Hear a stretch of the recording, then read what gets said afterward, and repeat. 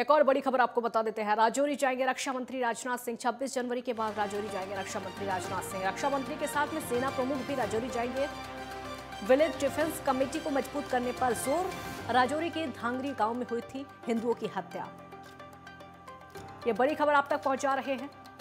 रक्षा मंत्री राजनाथ सिंह राजौरी जाएँगे और उनके साथ साथ में ये सबसे बड़ी जानकारी है कि 26 जनवरी के बाद वो राजौरी जाएँगे। रक्षा मंत्री के साथ सेना प्रमुख भी जाएँगे, रक्षा मंत्री और सेना प्रमुख। ये दोनों ही राजौरी जाएँगे। विलेज डिफेंस कमेटी को मज़बूत करने पर ज़ोर दिया जाएगा। राजौरी के धांगरी गाँव में हिंदुओं की हत्या की थी।